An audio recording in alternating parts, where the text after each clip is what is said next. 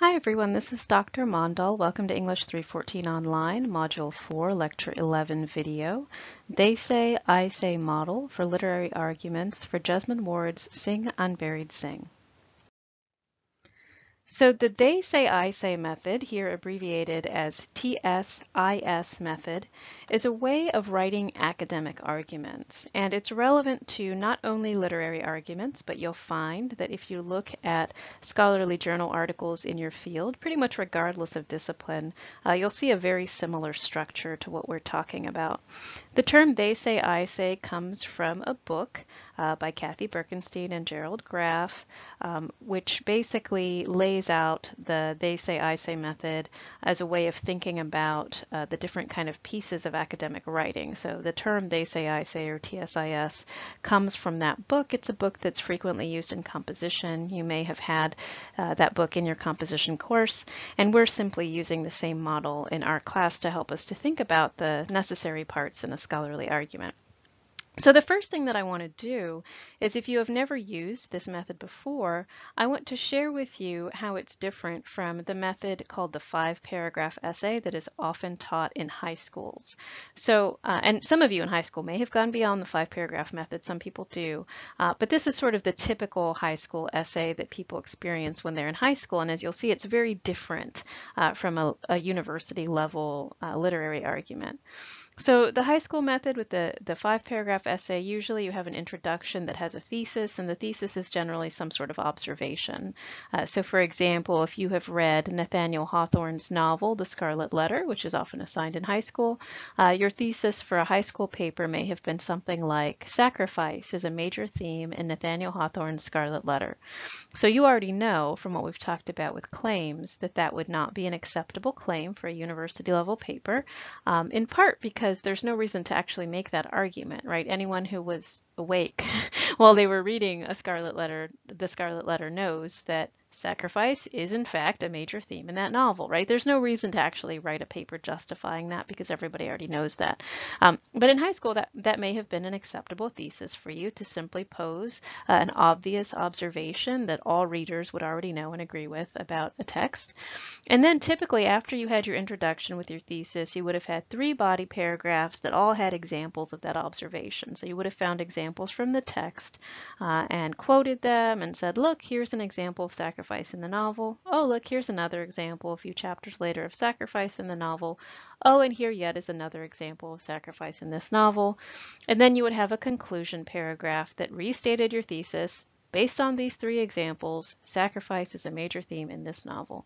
So that paper, as you can see from my description of it, is intellectually not useful, right? There's there's nothing that you're advancing. There are no ideas that you're advancing or insights that you're advancing that are really new or that are getting anybody who's read the text to think about it on a deeper level. But the reason why those are so frequently assigned in high school is that they're extremely useful at teaching people basic writing skills, right? So you're able to write transitions, you're able to write topic sentences, you're able to learn how to integrate quotations into your paragraphs, you're able to figure out how to logically construct a paragraph where all of the sentences are relevant to the topic sentence. Um, you're able to write an introduction and conclusion. You're able to sustain an essay that has some sort of main idea that all of the paragraphs connect to. So there are some, some important things there uh, that the essay teaches. And the audience for this essay in high school was the teacher teacher. You weren't thinking about contributing to scholarship on the Scarlet Letter when you wrote a paper about it. It wasn't like, oh, you know, scholars have ignored the fact that sacrifice is a major theme and nobody realizes it, and I'm going to be the person to, show. you know, there's nothing like that going on. So at the university level, it's a very, very different kind of game because it's assumed that through that five paragraph essay, you kind of know how a paper works in the sense that when I say you have to have a topic sentence, you know, ah, my, you know, the first sentence or two of my paragraph has to capture what the paragraph's about. When I say you need a transition, it's like, oh yes, I need to show that I'm shifting to a different point here. So you've learned all of those kinds of skills. But now you actually are writing uh, an argument that is contributing some kind of an insight that's not obvious to everybody who's ever read the book.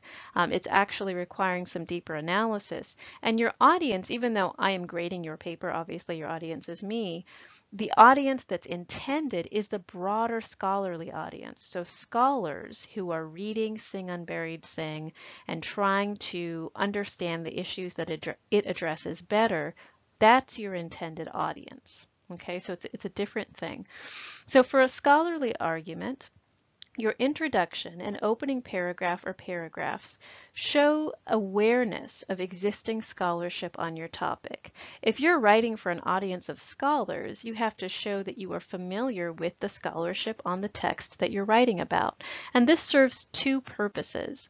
One thing that it does is it helps acquaint your reader with what other scholars have said on your topic. So you're kind of setting the stage for your argument by saying, here's what's been written about this so far, you know, and here's, here's what I'm going to say about it.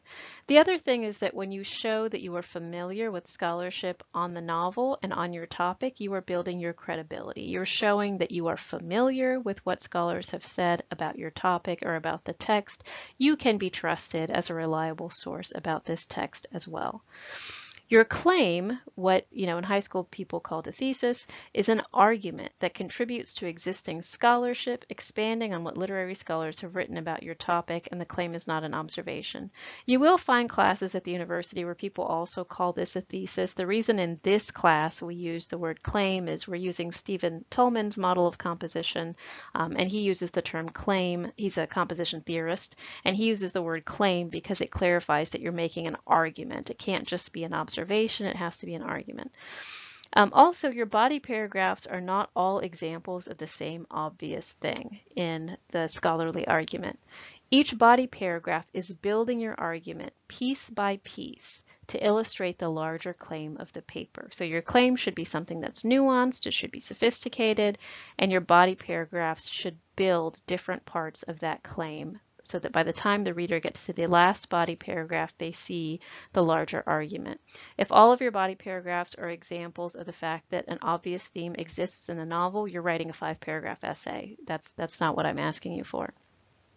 And also the conclusion does not merely restate an obvious observation, but it ends with implications. In other words, what does your argument contribute to the reader's understanding of the time period or of the author's work? And your audience, as I said, is scholars in general. Your purpose is to make a contribution to scholarship on your topic. And in the practice of doing that, in the process of doing that, you're also practicing core skills and just like in high school, uh, earning a grade. So hopefully this contrast between the five paragraph essay and the scholarly argument kind of clarifies uh, the difference in terms of what you may have done before and what I am asking you to do now. So I want to go a little bit more into the they say, I say method. I mentioned on the previous slide that in generally in the second paragraph of your paper, the first paragraph of your paper, you're generally going to kind of introduce the topic. You might bring in one of the sources that you wrote about in discussion board number nine, uh, maybe an interview with Jesmyn Ward, uh, maybe a news article, um, something that kind of gets the reader's attention, and then you'll summarize the novel very briefly so that um, the reader knows its general plot uh, by the end of the first paragraph. And then your second paragraph, you're going to have this they say, I say. So I want to tell you about what the they say, I say is. They say is basically your scholarly source. What do they, or scholars, have to say about your topic? The they say is the scholarly conversation to which your claim is responding. So basically you can think of it as what do they, scholars, say about your topic? That's the they say. I say is your claim. It's the same thing as your claim. It's what you are saying in the paper. It's what your argument is. This is your claim or what you have to say about your topic. So what they say, what the scholars are saying about your topic, and what I say, your claim, are connected by a bridge, which explains how you are contributing to the scholarly conversation. So you're going to cite another scholar, and then you're going to explain if you're agreeing with them, if you're disagreeing with them, how you're expanding on what they're saying. And you can see the benefit of this. You're basically establishing your credibility as a writer when you're citing another scholarly source and explaining that you are contributing to the same conversation as that person by making a very specific claim. So you're basically validating your claim. When you have the they say in the bridge, you're saying, look, hey, I'm familiar with what's been written on my topic. Here's what's being written. I'm showing you that I'm knowledgeable. I'm showing you that I've looked at what else is out there. And here's how my claim furthers the attention to this topic. Here's how I'm building on what someone else said. Um, so this is a way to build credibility as well as to show uh, your understanding of what's been written uh, about your topic that's relevant to your argument. So now I'd like to show you an example of the they say, I say method. Um, and you can assume that the paper's title, a hook, some introductory sentences, and plot summary are in the first paragraph, and this would be the second paragraph of the, the whole paper. And I've used kind of a silly example here because the content doesn't really matter, it's the different parts. It's the they say and the I say. Um, so I've used kind of a silly example because I want you to pay attention to the format more than the content. So in his essay titled The Costs and Benefits of Indoor Cat Ownership, nationally renowned cat behaviorist Terence Tabby notes that keeping one's cats solely indoors decreases risk to the cat and to outdoor wildlife, especially birds. Okay, so what I've done here is I've introduced the title of the essay, I've established the author's credibility, by the way, this is made up. There's no one actually named Terence Tabby that I that I know of. Um, but in this example, Terence Tabby, the author, um, I've established their credibility by saying nationally renowned cat behaviorist, right? And I know the title of the essay that I'm talking about. And then that sentence basically explains what the essay is about, right? And then the next sentence is even more specific. I'm going to quote Tabby now. Tabby writes that, quote, although the outdoors offers cats a range of opportunities to pursue their natural instincts through hunting, climbing, stalking, and scratching in ways that are not possible in most indoor domestic settings, the risk to the cat's life and to the local bird population outweigh the benefits. End quotation citation. Okay, so you can see what I've done here. I'm establishing my credibility again because not only have I introduced the source, established the author's credibility, and explained what their essay is about, but now I've quoted it to demonstrate what their argument is. And the quotation that you pick from your source is going to be the one that is relevant to your argument. This is the one that you're going to be building on. So after the page 29 citation, we start to have what I called on the previous slide a bridge. This person is going to be explaining how they are building on Tabby's work. While Tabby is correct that there are formidable risks to cats' safety and well-being when they are outdoors, from being preyed upon by other animals to the dangers of coexisting with human beings and their machines, such as cars, Tabby's delineation of indoor slash outdoor spaces is too severe Ah, okay. So you can see how this person does that. While so-and-so is correct about X, they don't quite have it right with regard to Y. Do you see that format there? That's that bridge that I was talking about, where this person is explaining how they're going to build on the work of the other person. So they're kind of, the bridge is kind of making room for your claim. So the bridge continues. He overlooks that in the past decade, a vast variety of protected, quote, outdoor spaces for domesticated cats have emerged, generating a whole industry of, for instance, catios, screened-in patios for cats, screened window boxes, and screened tunnels that protrude outside one's home. In fact, it is now possible to bring the outdoors inside for cats without compromising the cat's individual safety or local wildlife. So you see they're, they're kind of showing that Tabby has an oversight. He's not thinking about uh, basically these contraptions that allow cats to be outdoors while still being protected. So here's their claim. This middle ground of indoor-outdoor spaces should be encouraged wherever possible instead of limiting, limiting domesticated cats to a life indoors without external stimulation. That's their argument. So they're agreeing with Tabby to a point by saying that, yeah, outdoor life um, is risky for cats, but they're saying you shouldn't keep cats necessarily confined to the indoors without any exposure to the outdoors the indoor outdoor spaces should be encouraged. That's their argument. So if you pay attention to how this is laid out, you can clearly see that they say summary of this person's argument, quotation from the argument. You could see the bridge. While Tabby is correct, he overlooks that. And then you see, see the I say. This middle ground should be encouraged instead of limiting cats. So this is the kind of format, obviously your paper isn't about cats, but this is the kind of format, right, that you're following uh, for your they say, I say. And again, the I say is the claim, and that's the part you've already been working on. That's the most important thing is to figure out what you're saying first, and then you can look for a source that's about your topic, right? So if you're looking at white supremacy and a certain kind of imagery from slavery in the Jim Crow era, and you're looking at how that gets the reader uh, to be uh, sensitive to the realities of continued white supremacy uh, for Black Americans in the American South, um, you would have a claim already, right? The last sentence, the middle ground, you would already have that sentence. And so your next step is to start looking for scholars who are talking about your topic. And that's how you have your version of Terence Tabby, right? You look at other people who are writing about your topic, figure out, do I agree with them? Do I disagree with them? I've got my claim already. How is what I'm arguing responding to what they're saying? And that's, you want to have your claim first and all your body paragraphs kind of planned out, and then you look for a source on your topic so that you can show um, how you're contributing to the broader conversation. One thing that the they say, I say method does, it provides a structure for the paper. Um, so the claim I already read to you, um, people are like, it's now possible to bring the outdoors inside. The indoor outdoor spaces should be encouraged for cats instead of limiting them. So the paper structure kind of comes from the claim. So first the writer would expound on the first sentence where they're giving plenty of examples of how these different contraptions can allow cats to be outside with protection. And then they would make the case for the second sentence to show that their idea is feasible, right? So they would explain how the indoor-outdoor spaces work, where cats can be safe, birds aren't harmed. Um, and Terence Tabby would be cited in the body of the paper wherever relevant to the topic um, or either for specific information or for the writer to express agreement or disagreement. So basically, your source would come in the they say, I say, and then you would quote the source again in the body paragraphs of the paper where it's relevant. So you don't need to quote an outside source in every body paragraph. That's an arbitrary rule that I don't agree with because a body paragraph does not always have to, there's no reason for that, right? You should only quote people when they're relevant to what you're saying.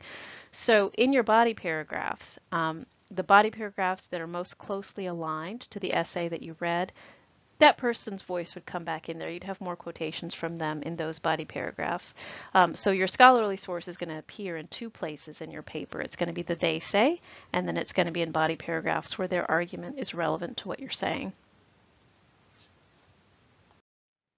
So now I want to just take a moment to uh, help you come up with um, basically what you're probably wondering by now is, well, what should I use for my day say, right? I know kind of what I'm arguing how do I how do I find another source? So the primary place to look for the they say is literary criticism. You're writing a literary argument, so the most relevant thing for you to look at would be literary criticism. That means, and you already know how to go into the library databases because the mini paper gave you experience doing this, you would go onto literature relevant databases um, and you would look for information based on that on your topic. I do want to say this, that generally, you know, if I were teaching uh, Jane Eyre or, you know, Ulysses or, or something like that, you would go into literary da databases, EBSCO or JSTOR, Literature Reference Center, whatever it was, and you would be able to find a lot of stuff. This novel was published in 2017. And it takes an extraordinarily long time for a scholarly journal article to make it to print or to screen, to be published. Uh, if you're if you're trying to get a peer-reviewed scholarly journal article published, it takes a really long time because of the review process, because so many people have to look at it and read it. Oftentimes you have to make revisions before it can be published. So it's unlikely that you're going to find literary criticism specifically on Sing Unburied Sing and scholarly journal articles. So for recent novels, you're going to have to branch further afield and you're going to have to look at your general topic. You're going to have to look at literary criticism on your general topic instead of literary criticism specifically on this novel. So I've given you some examples of what I mean. You might find criticism on recent novels exploring relationships between African Americans and the police. You might find criticism on writing exploring the aftermath of Hurricane Katrina. You might find criticism on women writers' depictions of the supernatural in writing that provides social critique. So basically, you would be finding literary scholars who are talking about other authors who have recently published on the same topic. And your contribution would be to say that One of the most significant novels that also contributes to this topic is Jesmyn Ward's 2017 novel, Sing Unburied Sing. Um, sometimes when you are one of the first people who are writing about a novel, your contribution is basically bringing that novel into the conversation because other people haven't been publishing about it, right? So um, your contribution is to say, hey, people have talked about this topic with other texts. They haven't talked about it with this text, and I want to explore it in this text. And in that case, that would be your they say.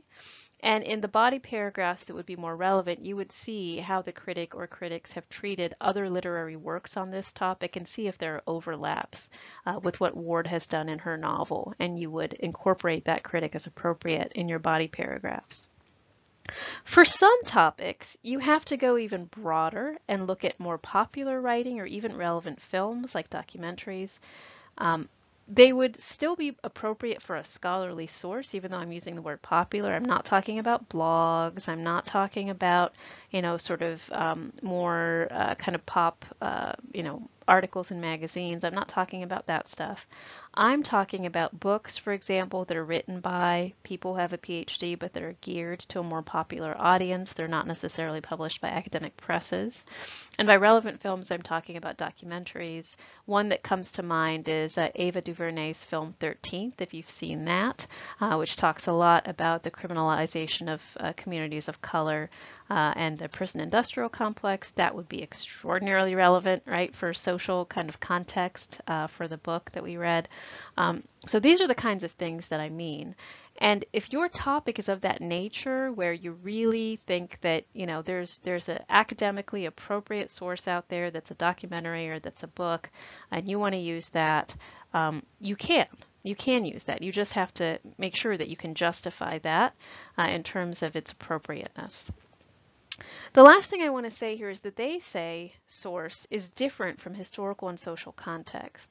Historical and social context helps your reader to better understand your close reading, right? So if you're talking about Parchman Prison, you would use maybe one of the, the news articles that you found talking about Parchman Prison and its history to help your reader better understand the setting in the body paragraphs that discuss Parchman. They wouldn't be your they say. Um, historical context can't be they say because historical context is not an argument, right? To give a bunch of facts about Parchman and what happened there, nobody's arguing anything there. Someone's just kind of giving you factual information. The same is true for social context. If you're talking about white privilege, information establishing the fact that white privilege exists in the United States nobody's arguing that. That's just a fact, right? When you're talking about the history of the United States and the kind of power dynamic that has been created in certain situations, no one's, you know, that's that's an observation about reality. So those things would not be a they say. A they say is an argument someone is making about something, and you are responding to that argument by agreeing or disagreeing or expanding on the argument in some way. So historical and social context should be in your paper. It should be integrated into the body paragraphs where it is relevant. And then the criticism should be part of your they say and also integrated into body paragraphs as relevant. So the next steps I want to share with you, I have extended the deadline for a couple of assignments, and this is based on what I saw in the threads activity. And this really varies from class to class. Sometimes I see the threads activity and I say, this class is good to go, let's keep going. And sometimes I look at it and I say, okay, we need a little bit more time here to revise the threads activity, to get our close readings up to speed, to get our claims up to speed. It is not a commentary at all on you or your work. It just means that I think we need a little more time to address this as a class. Um, so the journal number eight, who cares about this? It's a reflection on what you are looking for in your They Say, I Say that will help you to actually search for a source. That's going to be due on Sunday. The research to actually find a source for your They Say, to find a piece of literary criticism, I've extended the deadline to Thursday. Okay, so um, that will be due along with the Thursday assignments. You still have Thursday assignments, so you want to manage your time really well because you still have those assignments in addition to this one. Um, but I want to give you a little more time to find a source and then to talk about the source. So discussion board number 10, you're going to answer some questions about the source that you found. I want you to have some more time to do that. And then the rough draft part one is still due Sunday, and you'll see the assignment on Blackboard. Rough draft part one is the first couple of paragraphs of close reading that will be part of the body of your paper, which you will uh, craft using your threads activity. You use the brainstorming you did in your threads activity to craft those two paragraphs. That's rough draft part one. So that gives you some idea of what we're doing and also some changes that have been made to accommodate what it seems to me are people's needs in the class. So you can let me know if you have any questions and I look forward to seeing your work. Thank you.